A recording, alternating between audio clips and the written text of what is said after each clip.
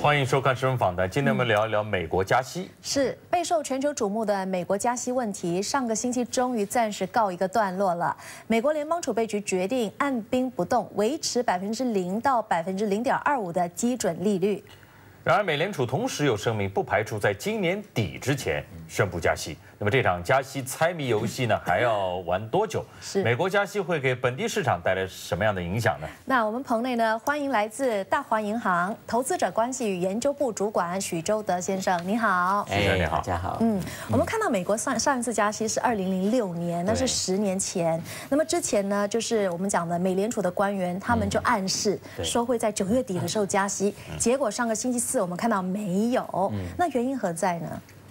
因为其实这一次美国的这所面对的课题，我们在这个节目也谈了很多次了。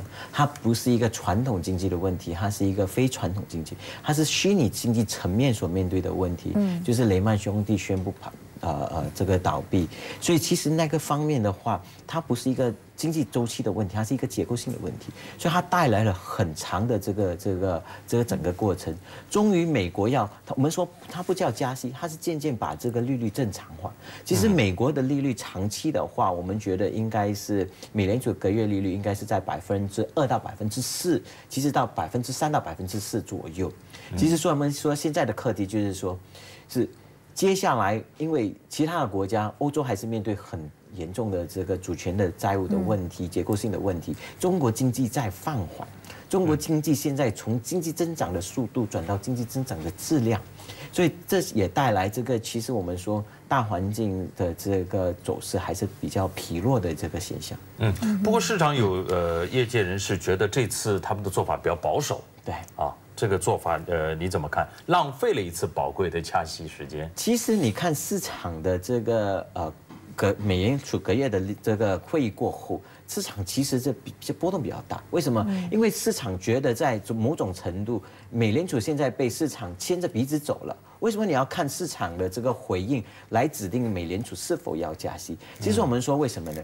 因为我们说美美国经济的经经济还是面对很多结构性的问题，啊、欧洲的经济还有很多主权债务的这些的挑战，所以所以它现在真正的要加息，它还是很多的这个疑问是否要加息？可是我们说。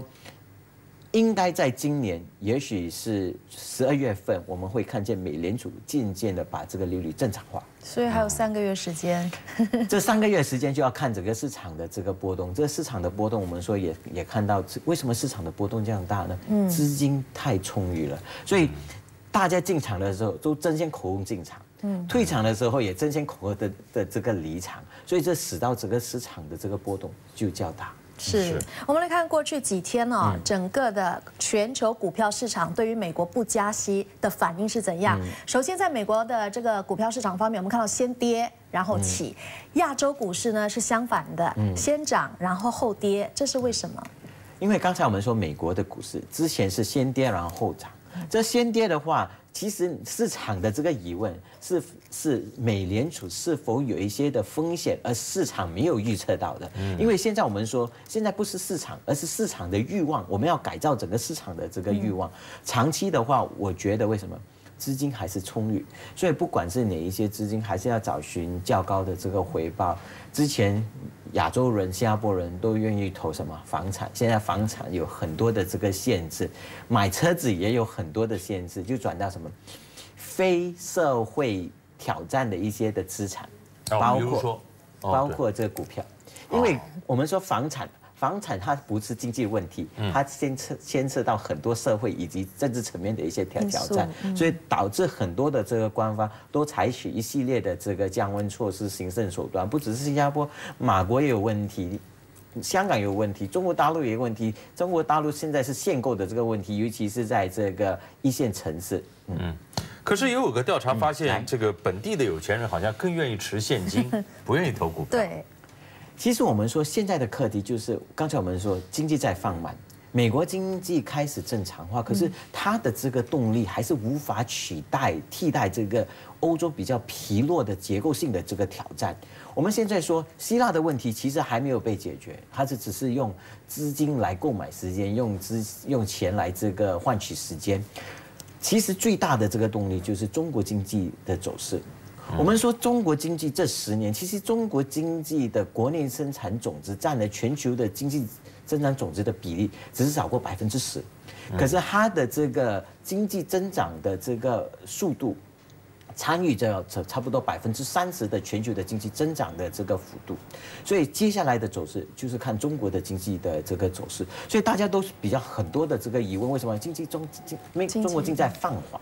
它这个很刻意的在放缓，因为在在经济在转型，不管是企业、银行业都在转型，所以大家都采取一较比较保守的这个一个一个手段，就是什么手上有现金。是，除了刚刚讲到了，就是我们讲的呃股票市场，还有经济，还有一个就是货币市场。我们看到呢，上个星期四在美国那边这个消息一出之后啊，新元还有美元是走高的，为什么呢？新元跟美元走高，OK，其实我们说，其实这个新元的最高的这个高峰是在一点二零，在去两年前的这个价位。到从那时开始，我们说已经开始看见新币新币开始渐渐的贬值。嗯，新币贬值不是因为美元增值，而是美元渐渐的正常化。嗯啊，所以我们说长期的话，美一旦美元开始加息的话，我们会看见新币继续的保持有所贬值的这个趋势。嗯，就是。不是新币贬值，是美美金美金增值的这个趋势。是到了明年，我相信也许我们到会到一点四五，甚至也许到一点四六、点四七的一些价位。可是它是一一个很漫长的一个一个过程。对，是。那么目前这个美联储的这次暂缓加息这个动作，对新加坡本地的影响会是什么呢？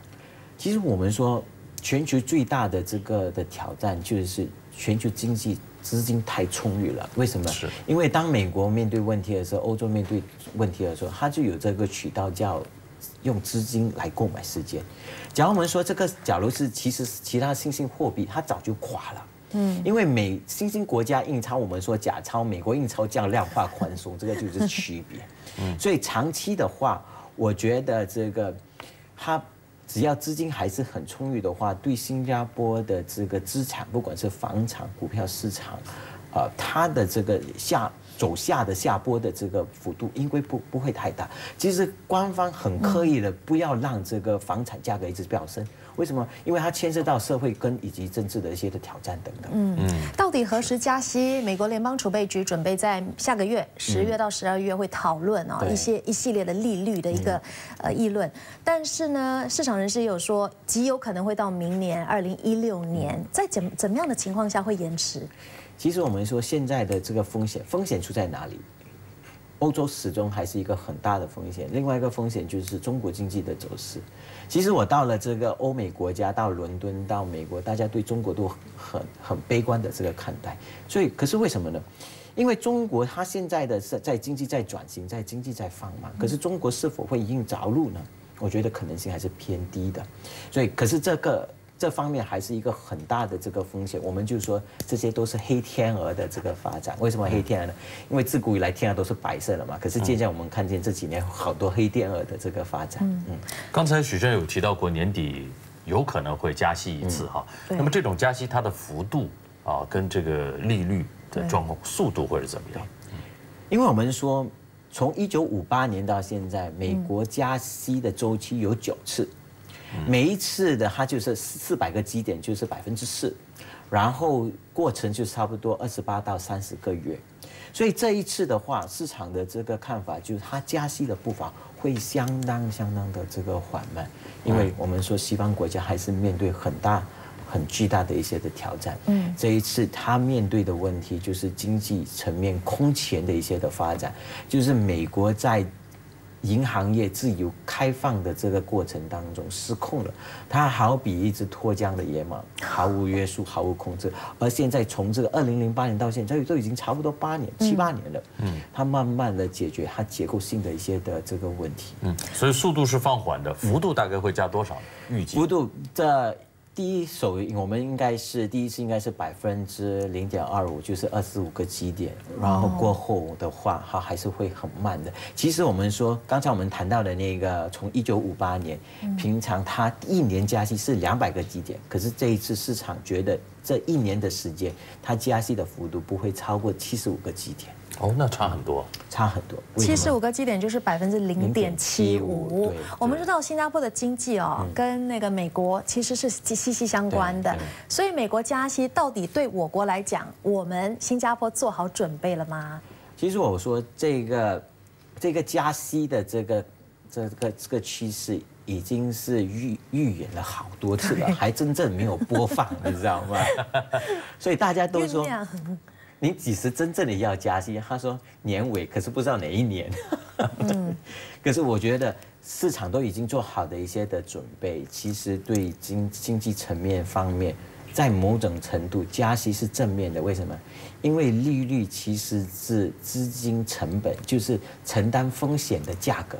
就是投资的风险是对吗，？当利率成成资金成资资金成本是在百分之零，换句话，承担风险没有价格，从官方的角度是很可怕的，那就是零就是零。所以大家就说，哎呀，反正借钱都不用不用不用不用利率看待不用利息不用利息 零利息啊，就随便的这个承担风险，这是从这个官方的角度其实是很可怕的。嗯好，非常谢谢许先生给我们做了详细的一个分析啊。谢谢。呃，观众朋友，如果你想针对今天的话题提出个人看法，欢迎到《师承有约》面部网页留言。